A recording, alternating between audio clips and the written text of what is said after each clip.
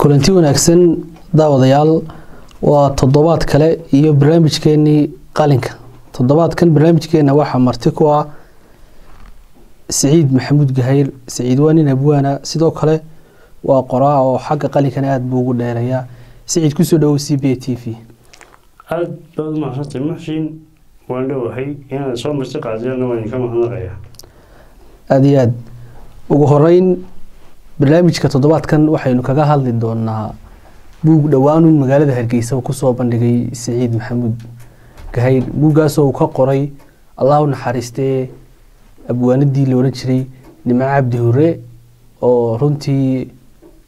labadii kun iyo shan iyo tobankii muddooyinka shan sano laga joogo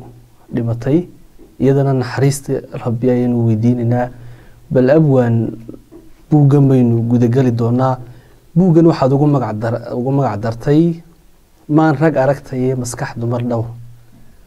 Bal marka hore magac bixintiisu sidaabay ku timiday buuggan magac bixintu waxay ka timi oo ay ka soo jeedaa xulasho iyo doorasho ay samaysay allaha u naxariistay nimco aadan hurre nimco gabaydo ay geeriyoonin. Ama buug ahaan ha ugu talagasha ama soomaali magaceed ha ahaadee waxay leedahay oo ujeeda in badan baa la dhegeystay wax ragiiri oo la qoray ama la daabacay manhajka lagu daray. Bal aynu eegno maskaxda dumarka iyo suugaanta ka timaada markaa anaguna dardaarankeedii ayaanu fulinay oo sidaas ayaanu buugga ugu daynay magacii ay bixisay nimcagabada alla naxariistay ee maan rag aragtae maskax dumar roob. Haddii kolley dad badan baa laga yaabaa inay nimco suugaanteeda ay maqleen laakiin aanay taariikh nololeedkeeda garanayn bal adigoo markaa dadka u soo koobaya taariikhdii nimco. Nimco gabaydo ilaahay u naxariistee waxa ay ku dhalatay deegaanka gudubi oo ka tirsan gobolka daadmareel ama oodweyne kun sagaal boqol sagaal iyo lixdankii. Waxbarashadii dugsiyada hoose dhexe waxay ku qaatay berbera. Kadibna wax la guursay dhowr iyo ama shan iyo markaas waxbarashadii way ka hadhay oo nolol qoysnimo ayay gashay nimcagabada waxay ka soo jeedaa qoys ab iyo isur ula suugaanta oo hooyadeed caasho aw jaamaca jaxsan waxaa dhalay gabayaacana oo loo yaqaana aw jaamac gacanlo oo ninkii tiriyey gabayga ay ka mid yihiin mid kabriidii meel lagu qabto murux ka yeelaaye mar hadday mashiinadu qalxaan mawdka loo simane ismaroorintaa raawaca ismahadin maayaan mintad farayar midhihii bataa kama macashaane ninkaasaa awow ruma uu ahaa nimcagabaydo waxay gabayga bilowday koo iyo labaatankii oktoobar kun sagaal boqol koob iyo sagaashankii waxaanay saaxadda halabuurka ku jirtay muddo shan iyo labaatan sano ah caruurteedii qaar gabyaan oo way ka dhexleen intaas waxay jirisay suugaan fara badan oo isugu jirta jacayl arrimaha qoysnimada xuquuqda haweenka wadaniyadda siyaasadda dardaaran ah madaxda deegaanka arrimaha bulshada nabadda mawduucyo fara badan oo kala gedisan ayay nimco jarisay waxaanay ka mid ahayd foolaadka ama hormoodka haweenka gabya ee soomaalida ayay ka mid ahayd caadiyan suuganta la isticmaalo badaheeda qaar badan baa waxay ka soo jeedaan kuwii dumarka ama kabadda ha ahaado badmaashada ama haanta ha ahaato ama kuwo kale ha ahaadaan. Laakiin may jirin in la sheego ama la qoro taariikh haween ama suugaaneed waxaana ku faraxsanahay inuu yahay buuggii labaad ama kii koowaad af soomaali dhamaystiran lagu qoro ee gabadh halabuur oo soomaaliyeed laga qoro mid baa jiray ingiriisi iyo isugu jira soomaali laakiin kani waa buugga gaarka ah afka soomaaliya ku qoran ee gabadh halabuura laga qoro waa hagaag haddii intaan nimcaynu kaga nimaadno nimco maxaad ka xusi kartaa maasooyinka ay xuquuqda haweenka ugu doodisay had iyo jeer tirin jirtay? Waxaan ka xusi karaa nimco aniga aragtiyeeda qof ahaan waxay igu horreysay sideedii marj labada kun iyo sagaalkii markaas waxaanu ka wada qayb galnay xuska maalinta caalamiga ee haweenka oo mansuur lagu qabanayay. Anigu waxaan ku qoran marka inaan jeediyey maanse la yidhaha samaan hooyo iyaduna waxay ka tirinaysay gobol yaraas oo annaga ma aha. Nimco horteebay stiiska ama masarka istaagtay gabay aada u farsaxan ah bay si aftahanimo leh oo fahansiin leh u akriday waxaan ku sigtay markii dambe inaan anigu dhunto gabaygaa qiimihiisa. Gabaygaa soo annaga ma aha ee nimcay tirisay iyagoo dhowr labaatan ama dhowr iyo toban fanaan iyo halabuur ah ayay rawaayad ka dhigeen madaxtooyada somalilan madaxweynaha riyaala yidhi dhammaantood dadkan kuwa bilaa shaqada hala meelayo hala guniyo mushaara loo qoro wasaaradii dhaqanka iyo dalxiiskii markaa jirtay raggii oo dhan way u qortay mushaarkii iyada iyo gabadh kale oo fanaanad weyna ayaa laga reebay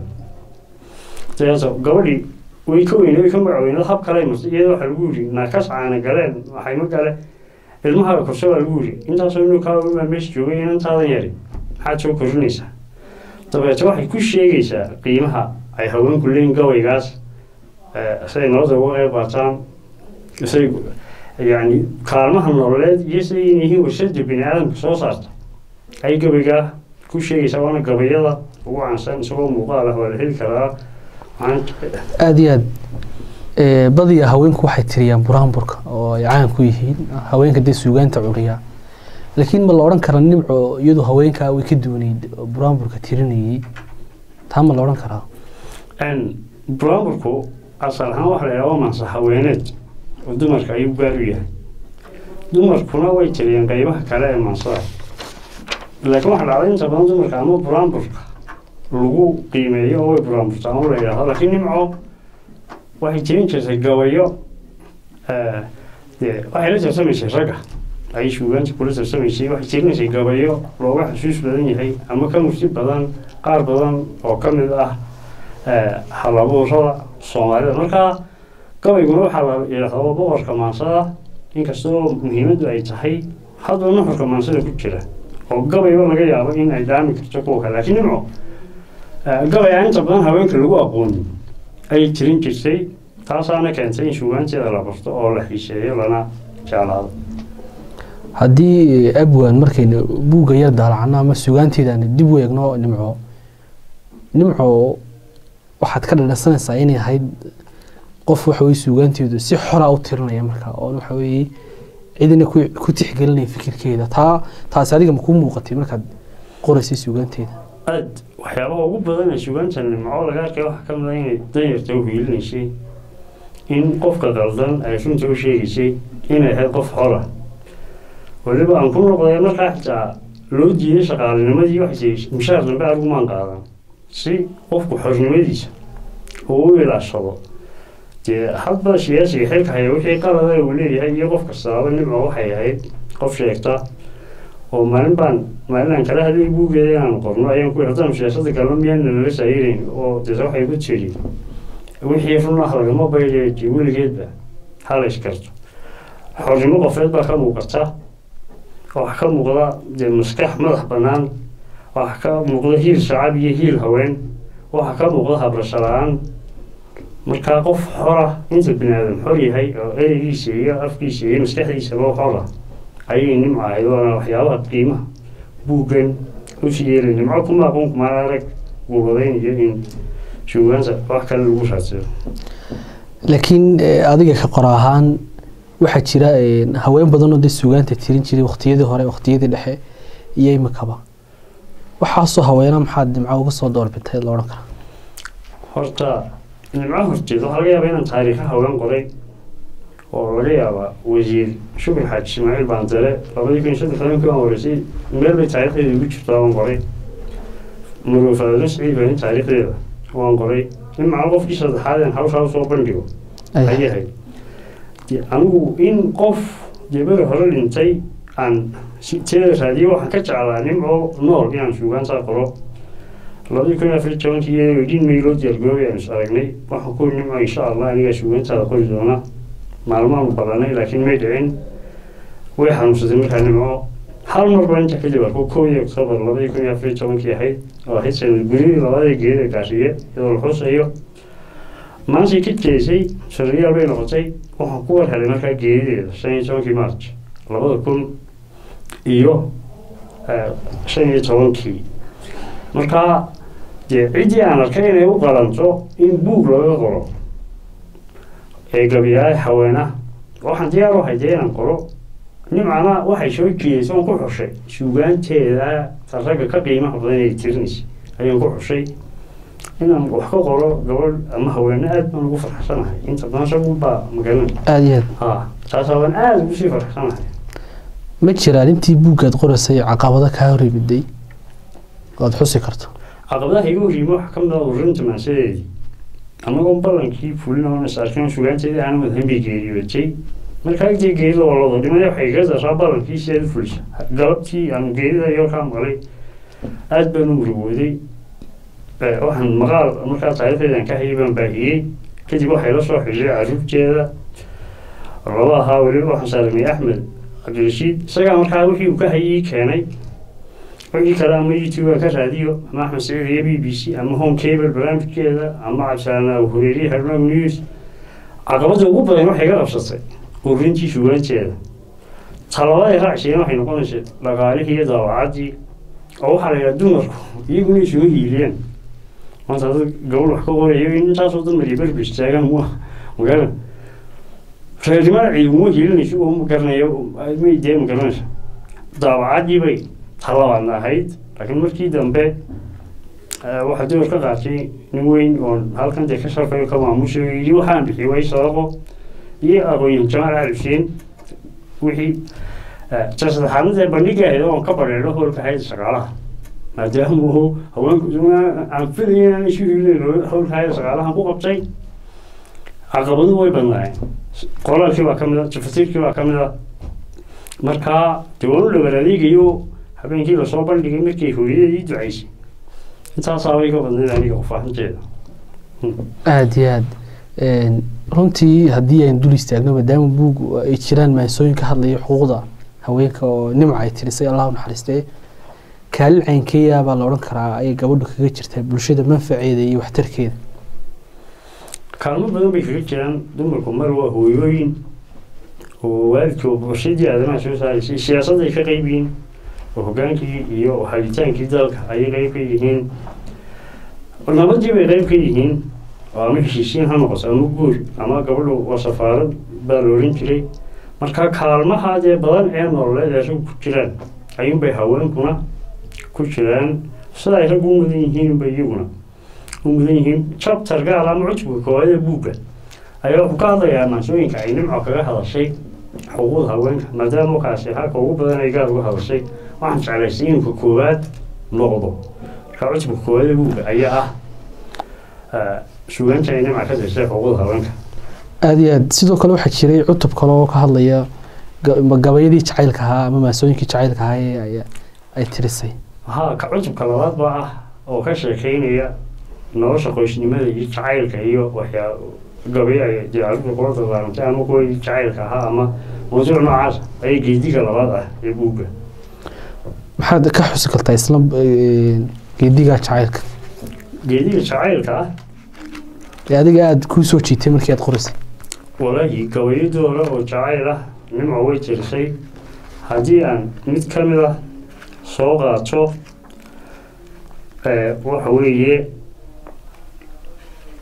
waxa weeye kan gabaygan la yidhaahdo kaala iga baano iyadoo berbere joogta ayay fariin diraysay nin xiis jacayl ka dhexeeyo burco joogay markaa qof bay fariinta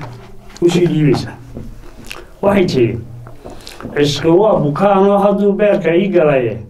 badankayga laabtiyo qalbigu way balbalayaan in sambabada budoodiyo wadnuhu buu ku leeyahay barta laga dhaqaaqu ii degay oo bes baan ahaye balqabsoo intuu dhow yahaa laysbambaanshaye kol hadduu ballaadhuu fiduu beerno cashaquna. Bogsad male guyaal badane. Cabdilaahi baashow haddaad booway socod maagto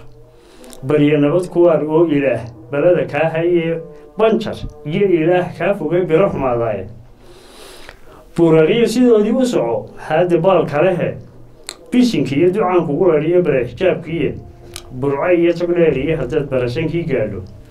Balse kaan jeclaa iyo haddaad baarigii aragto yarti way bugto waxay ku tidhi bogow warkaygaa dheh. Jacayl baaxad weyn baay helay barashadaadii dheh. Bishan kala maqnayn bay indhuhu arag basaaseen dheh. Adaan kuu buseelo hurdana aadumaan bogan dheh. Biyo kolay ku tahay dhuunigan badi ilaawaa dheh barbaartii ma raaco tabtii boodhalaan ahay dheh buda maqalka iyo dhaayihiiyo baalashiiyo wiilka bahda iyo halbowlaha wadnaha bidixda jiidhkayga sambabkayga bilan iyo keliyuhu way babanayaane baaxaadagaygiiyo intaan badanin hawshaydu durbo waa igu baahayey intaan inta intaanu halista ii beegsan booliyowga caashaqa intaan lay budjigin iilka basarkii kuwii hore intaan laygu qorin buugta adiga igu beereeya samow kaala iga baano ayga iga jacaylka ah ku jira waxaan ka midi gabadha jacaylka ah ee ku jira buugga aada iyo aad waa runtii waa gabay aada u xiiso badan daawadayaal waxaynu ku sii saqanaa amaba aynu soo gaadhnay guntii iyo gabagabadii barnaamijkeenii qalin oo toddobaadkan uu ku marti ahaa siciid maxamuud gahayr ugu dambeyntii siciid adoo fursaddan ka faa'iidaysanaya maxaad halkan ka leedahay daawadayaasha daawadayaasha waxaan dee ku dhiirigelinaysa inay buuggan akhriyaan. Waxaan ku dhiirigelinaya inay wax qoraan oo wixii ummadda wax taro leh ama ciddii in wax laga qoro ay wax ka qoraan. Si gaar ahna waxaan dee maanta mala haweenkaynu xuseynay sida ay raggu u mudan yihiin wax loogu qoro ayay haweenkuna u mudan yihiin in wax loogu qoro in loo xuso oo loo sharfo inaan wajibkaaba bitayna waan ku faraxsanahay waana salaamaya cid kastoo ereygaygu gaadho